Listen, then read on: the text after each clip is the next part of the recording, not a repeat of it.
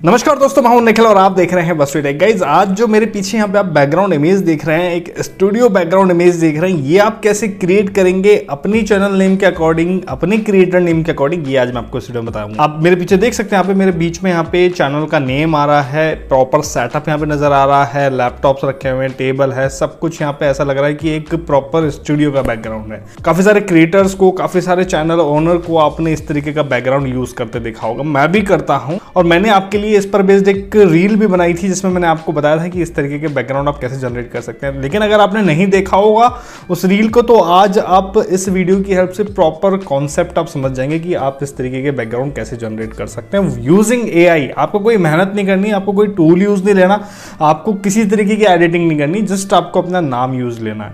ठीक है? तो कैसे करना है वो मैं आपको बता हूँ और ऐसा भी नहीं कि एक ही बैकग्राउंड आप मल्टीपल वेरिएशन आप बैकग्राउंड जनरेट कर सकते हैं वो भी फ्री ऑफ़ कॉस्ट तो यहाँ पर आप सभी लोग आ, को मैं यहाँ पे एक प्रॉम्प्ट देने जा रहा हूँ। मैंने आपको बीच में एक प्रॉम्प्ट इंजीनियरिंग के बारे में बताया था यानी कि एक सटीक प्रॉम्प्ट आपको एक सटीक रिज़ल्ट प्रोवाइड करता है और इसे ही बोलते हैं प्रॉम्प्ट इंजीनियरिंग और आजकल इसका बहुत यूज़ किया जा रहा है काफ़ी डिमांड भी है क्योंकि आपके सामने आजकल काफ़ी सारे जनरेटिव एआई टूल अवेलेबल है लेकिन उनसे इंफॉर्मेशन कैसे निकलवाई जाए ये एक मेन चीज़ है। और काफ़ी सारे प्रॉम्प्ट्स मैं आपको बताता भी रहता हूँ। आज ये प्रॉम्प्ट मैं आपको बताने जा रहा हूँ, जिसकी हेल्प से आप इस तरीके की इमेज जनरेट कर सकते हैं। ओके तो ये प्रॉम्प्ट यहाँ पे आप देख सकते हैं। मैंने यहाँ पे एक प्रॉम्प्ट यहाँ पे लिख दिया है। और आपको सिर्फ़ इसको कॉपी करना है। डिस्क्रिप्शन में मिल जाएगा। आपको यहाँ से लिखने की ज़रूरत नहीं है। कहाँ पर कैसे यूज़ लेना है, सब इन्फॉर्मेशन मैं आपको देने वाला हूँ। इसलिए पूरा वीडियो आपको एंड तक देखना है। चैनल सब्सक्राइब नहीं किया तो सब्सक्राइब ज़रूर कर लेना। ये मैं आपको बार बार बोल रहा हूँ, क्योंकि आपको नए वीडियो का नोटिफिकेशन तभी मिलेगा सब्सक्राइब करोगे और नोटिफिकेशन बेल आइकन दबाओगे। ओके तो चलिए बैक टू टॉपिक आते हैं। यहाँ पर ये हमारा, आप देख सकते हैं, एक प्रॉम्प्ट है। ये कोई पैराग्राफ नहीं है, कोई टेक्स्ट नहीं है, कोई साधारण टेक्स्ट नहीं है। ये आपका काम करने के लिए आपको एक प्रॉम्प्ट मैंने दिया है। Okay create a YouTube studio background with a modern and sleek design in the centre of the background display the name your name मैंने लिख दिया, यहाँ पे आपको अपना क्रिएटर नेम चैनल नेम अपना नेम फेसबुक पेज का नेम इंस्टाग्राम पेज का नेम जो आपको लिखना है बिज़नेस नेम जो भी आपको लिखना है, वो आप यहाँ पे लिख देंगे। जैसे मैंने यहाँ पे लिखा बस टूडे टैग अपना चैनल नेम लिख दिया। ओके इसके अलावा in bright neon lights with correct spelling correct spelling इसलिए लिखा है कि एआई से मैं ये एक्सपेक्ट कर सकूँ कि जो पीछे बैकग्राउंड में, बीच में जो नेम आ रहा है, वो स्पेलिंग उसकी करेक्ट हो. तो एटलीस्ट जितने भी रिज़ल्ट प्रोवाइड करें, ज़्यादा चांसेस उसके रहे कि स्पेलिंग उसकी करेक्ट हो, लेकिन क्योंकि अगर स्पेलिंग ही करेक्ट नहीं होगी तो जनरेट करने का फ़ायदा नहीं है. The neon lights should be in a vibrant color such as electric blue or neon pink. Surround the neon text with subtle, complementary lighting, the decor, lighting, lighting and decor that enhance the studio aesthetic. The overall ambience should be stylish, professional and inviting, perfect for a YouTube content creator studio. ठीक है तो ये एक prompt है आपको just क्या करना है इसको कॉपी करना है ठीक है कॉपी कहाँ से करना है डिस्क्रिप्शन से आप उसको कॉपी कर लेंगे और कॉपी करके आपको उसको पेस्ट कर करना है वो मैं आपको बताता हूँ पेस्ट करने के लिए आप अपने ब्राउज़र में जाएँगे और ब्राउज़र में जाने के बाद आप यहाँ पर वेबसाइट ओपन करेंगे को कॉम इस वेबसाइट को आप ओपन करेंगे, इस तरीके का इसका इंटरफेस आएगा सिंपल जैसे चैट जेपीटी ओपन करते हैं, वैसे ही आप कोपायलट ओपन करेंगे। और यहाँ पर कोपायलट यूज़ करने से पहले बात यह है कि आप का माइक्रोसॉफ्ट अकाउंट होना चाहिए, जिसकी आईडी की हेल्प से आप यहाँ पे लॉगिन कर पाए। अगर आप एक विंडोज़ यूज़र हैं तो ज़ाहिर सी बात है कि आपके पास माइक्रोसॉफ्ट की आईडी बनी हुई होगी, और नहीं बनी हुई है तो आप जस्ट गूगल पे सर्च कर लेना माइक्रोसॉफ्ट अकाउंट क्रिएट जस्ट आप ये सर्च कर लीजिएगा और यहाँ पर आपको एक लिंक मिलेगा, ठीक है? क्रिएट अकाउंट का sign up dot live dot com इस पर जाइएगा। इस पे जाने के बाद, इस पे जाने के बाद आप अपना अकाउंट क्रिएट कर लेंगे। अपनी जीमेल आईडी की हेल्प से भी अकाउंट क्रिएट कर सकते हैं या फिर आप अपनी एक नई आईडी भी क्रिएट कर सकते हैं आउटलुक पे। तो आप यहाँ पे देख सकते हैं मेरी प्रोफ़ाइल यहाँ पे लॉगिन हो गई है, जिस भी मैंने जीमेल आईडी से यहाँ पे अकाउंट क्रिएट कर रखा है। तो आप जस्ट यहाँ पर जाएँगे क्रिएट अकाउंट पे sign up dot live dot com पर अपना अकाउंट क्रिएट कर लेंगे। होगी बात। ठीक है को पैलेट पे आने के बाद अपना लॉगिन कर लेंगे। अदरवाइज़ ये खुद ही लॉगिन मांग लेता है आपसे। और यहाँ पर जो नीचे चैट बॉक्स आ रहा है यहाँ पर, आपको अपना प्रॉम्प्ट यहाँ पे पेस्ट कर देना है। कौन सा प्रॉम्प्ट जो अभी मैंने आपको दिया है? ठीक है, उसमें अपना नाम यहाँ पे यूज़ करना है आपको।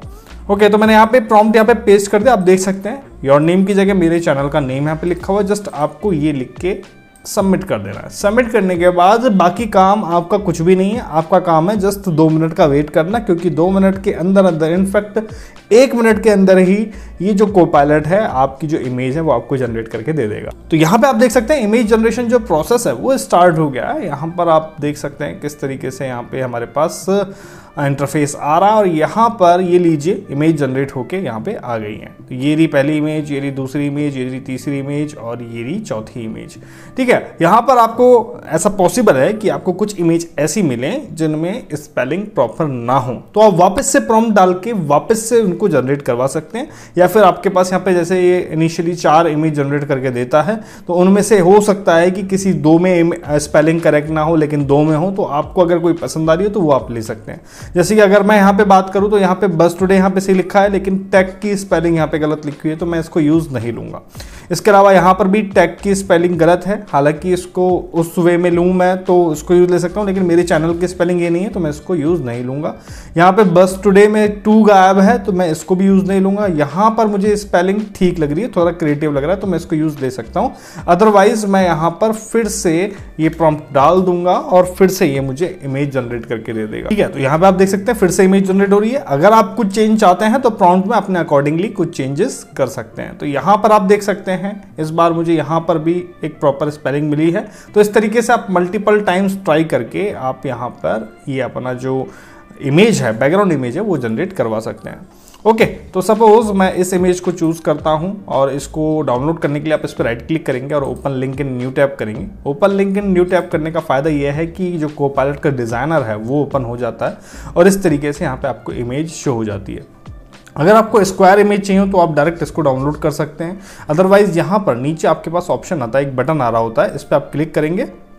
तो आप लैंडस्केप इमेज भी जनरेट कर सकते हैं। जैसे आप लैंडस्केप पे क्लिक करेंगे तो यहाँ पे लैंडस्केप इमेज यानी कि वाइड इमेज यहाँ पे जनरेट होकर जाएगी, जो आपके यूट्यूब वीडियो के लिए काफ़ी हेल्पफुल रहेगी। अगर आप इंस्टाग्राम वीडियो स्क्वायर शेप में बनाते हैं तो आप स्क्वायर इमेज भी यूज़ दे सकते हैं। तो यहाँ पे आप देख सकते हैं, इस तरीके से इमेज जनरेट होकर आ गई है। लेकिन यहाँ पर जब वाइड इमेज आई तो यहाँ पर स्पेलिंग यहाँ पे मुझे प्रॉपर देखने को नहीं मिल रही है। तो मैं इस इमेज को भी यूज़ नहीं लूँगा। तो मैं यहाँ पे इस तरीके से मल्टीपल टाइम्स ट्राई करता रहूँगा। रहूँगा जब तक मुझे प्रॉपर इमेज नहीं मिलती है। यहाँ पे आप देख सकते हैं, अब मुझे एक प्रॉपर इमेज मिल गई है विद करेक्ट स्पेलिंग तो करेक्ट स्पेलिंग को मैं यहाँ पे यूज़ ले सकता हूँ। इसको डाउनलोड करने के लिए जस्ट आप यहाँ पे इमेज पे क्लिक करेंगे और यहाँ पे अपर राइट कॉर्नर में आपके पास थ्री डॉट मेन्यू आता है, इस पर क्लिक करेंगे और डाउनलोड पे क्लिक कर देंगे और ये इमेज आपकी डाउनलोड हो जाएगी, जिसको अब आप यूज़ ले सकते हैं। तो यहाँ पे आप देख सकते हैं दो तीन इमेज मैंने यहाँ पे क्रिएट कर ली है। एक हो गई ये, एक हो गई ये और एक हो गई ये।